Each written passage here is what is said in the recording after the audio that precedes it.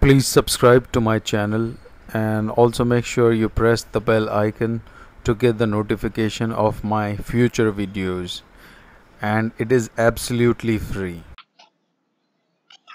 Hello friends, welcome to my channel once again. In today's video, we will be learning how to disable the beep sound which comes from the keyboard when you are typing. In order to do that, we will have to make some changes in the registry. I will show you the location and I will tell you how to make changes. Your keyboard makes a bleeping or beeping sound when various key combinations are pressed. So let's press Windows and R. Type regedit and click OK.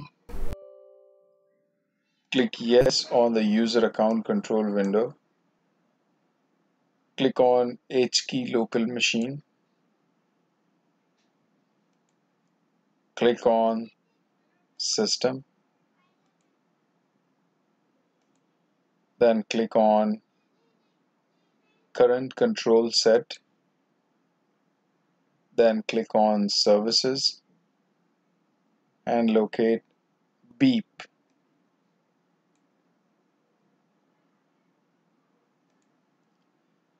At the right hand side, double click on start and change the value data from 1 to 4. Click on OK and simply restart your computer.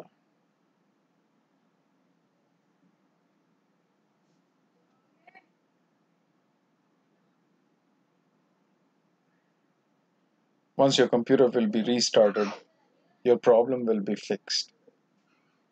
Well, that's it in this video. Thank you very much for watching. Please click the like button if you liked the video and subscribe to my channel if you have not done that yet. And also make sure you press the bell icon to get the notification of my future videos. Thank you very much. Bye-bye.